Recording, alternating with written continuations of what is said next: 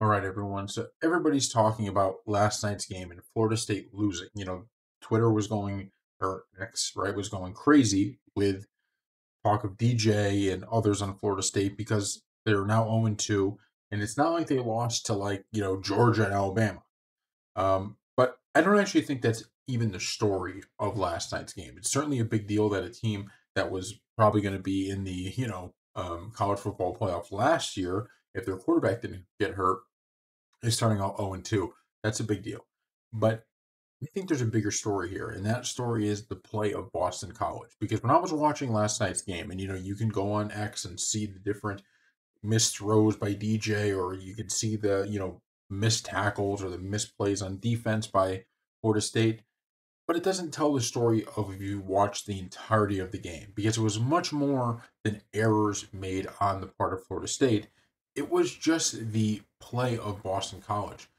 You watch this game, the, Boston College dominated the line of scrimmage. He had guys in his face on DJ on every single play, it felt like. He was rushed constantly. He was never really being able to sit back there and really do things. Um, the running game, it felt like they were fighting for every single yard they had to get. Like it was every, you know, like getting a first down was like hiking up a mountain. It just felt so much to overcome. And that's not something that you see usually when you have a team that's less talented beating a team that's more talented. You know, you could see sometimes, okay, the team didn't show up to play, but you really can put it on that team's performance. That didn't look like that last night. That looked like Boston College was dominating the line of scrimmage on both ends on a few of those really key third and fourth downs.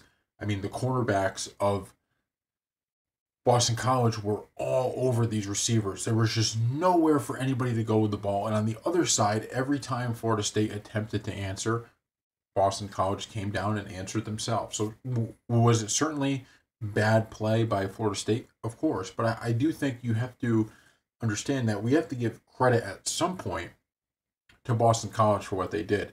Meaning we can't just chalk this up to, well, this team's bad. Florida State's bad. That's it. That's it.